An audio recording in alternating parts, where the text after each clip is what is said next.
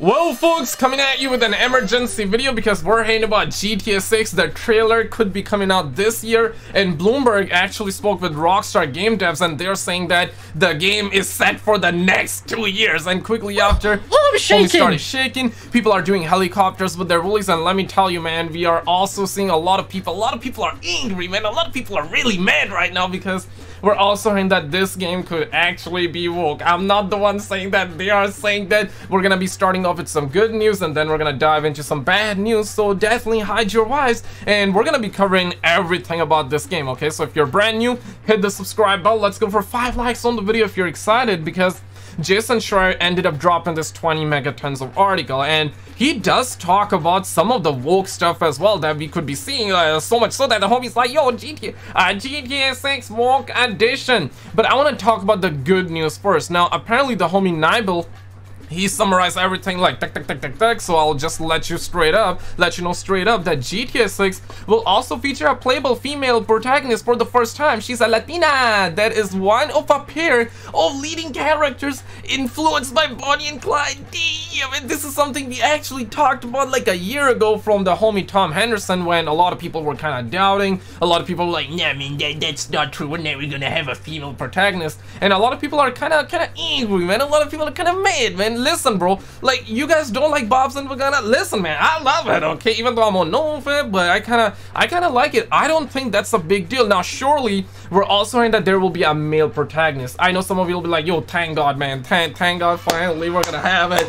They're not gonna go full woke. And listen, having a female character, that's not woke, man. Uh, apparently, according to studies, according to, you know what I mean? You go outside and you're gonna find women. You're gonna actually find it. They exist in real life crazy, okay? Shocker, but at the end of the day, most people are really worried that they're gonna be you know, going into the unrealistic scenarios and they're gonna really stretch the story or make it somehow woke. I totally understand that and I'm with you on that one, right? Like if they really make this game that is like, you know, really woke heavy where it's just not making sense, they're really getting away from uh, the GTA essence, then then yeah, surely, I, I agree with you, right? But I don't think that's necessarily a problem. There's another problem which I feel like is a real problem which will we're gonna get to, but apparently some more Grand Theft Auto 6 details.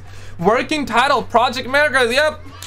Another leak, yep, that was one of the leaks that we have been hearing for the last 20 billion years, but by the looks of it, it is true. I always believe that leak, and yeah, we have seen some changing information from that title because Project America Leak has been so old at this point that stuff is gonna get changed, right? Because previously we did hear that it's gonna be set in the 70s, and the 80s, and now we're hearing that it's gonna be modern time. And main location is a fictional version of Miami, plus its surrounding areas.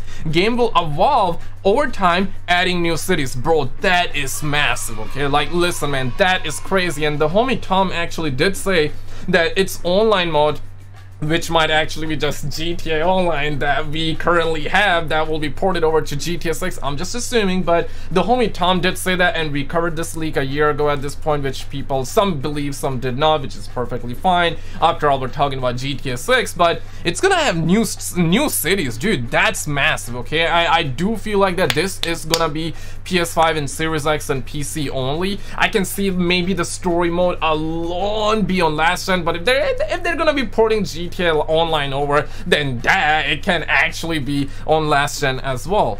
The game world is already large, more interior locations than previous GTA games, which is actually another W.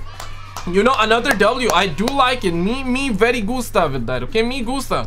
But some of the changes at Rockstar Games since 2018. Uh, more producers help to avoid uh, crunch, which is actually really good. Schedule changes, so I'm not sure what this means. Like, uh, was GTA 6 supposed to come out like uh, early in 2019, 2020? Or does this mean that it was supposed to come out in 2077 and now they're like, yo, we gotta, we gotta work hard, okay? We gotta, we gotta drop this game fast. We're not entirely sure but that. Uh, conversion of contractors to full-time employees. So you know what? Another W. Removal of abusive employees. You know the the the employees uh, that might be doing helicopters with their woolies. That we have seen this problem in uh, Ubisoft, in Activision. Like you know, employees want to do helicopters with their woolies. They want to do Easter eggs with the baddies without mutual consent. And, you, you know what I mean, right? So it might be that, or it might be just uh, you know, uh, hey man, uh-huh, mm-hmm, mm-hmm. um, I'm the bigger man out here. You know, there are definitely people like that. So it might be actually talking about it. Uh, like you're wrong.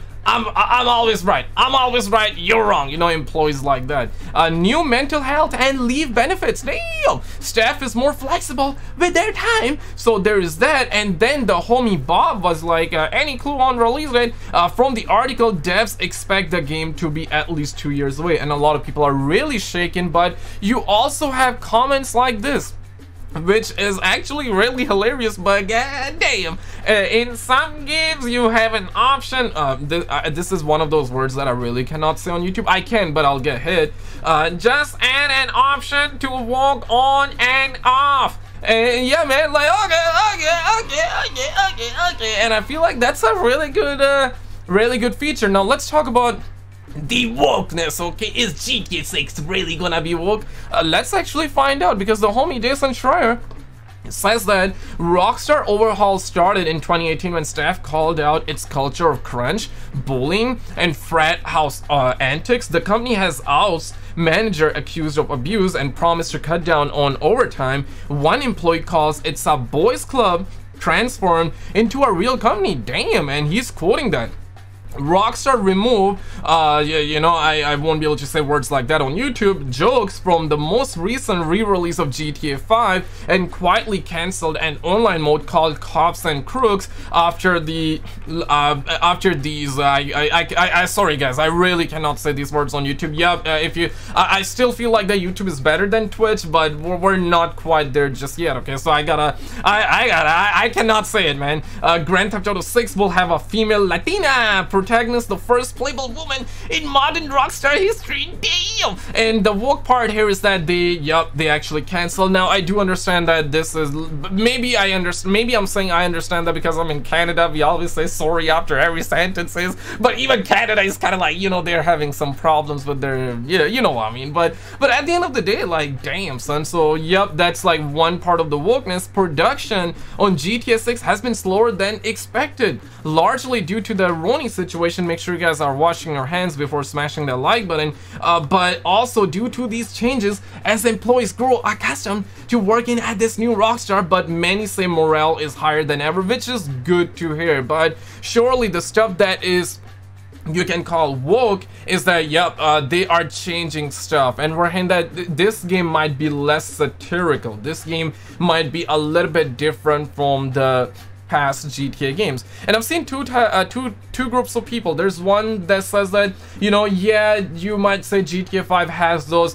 satirical jokes, like the bad kind of jokes, or the edgy, edgy jokes, and uh, people are saying that I don't remember. I don't play GTA for for those type of jokes. I just want to fly jets around. I want to fly cars. I, I just want to play the story. I want to play the online, enjoy my time. And there are other, there's the other group that that's like, bro, like I care for GTA satirical jokes. I care for the edginess because that's what I grew up with and that's like Rockstar's identity. So both people are in the right. So I, I do I, I do feel like that whenever they drop this game, it's gonna sell like hotcakes. This rare look inside Rockstar Games are, uh, and the development of GTA 6 is based on interviews with more than 20 people who either worked there or left very recently. Damn, so this is uh, this is as real as uh, UFOs flying over your head. You never know, man. So let me know your thoughts. Uh, click on this video on the screen. We got some massive GTA 6 news and also a ton of gaming news. Click on it.